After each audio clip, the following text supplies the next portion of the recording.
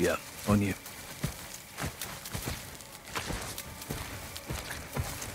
Cartels and terrorists. Strange bedfellows. huh? Terrorists are all about the past. Narcos are all about the future. What's the common ground? Territory and fresh blood. They both attract the youth. Always a long line of new recruits.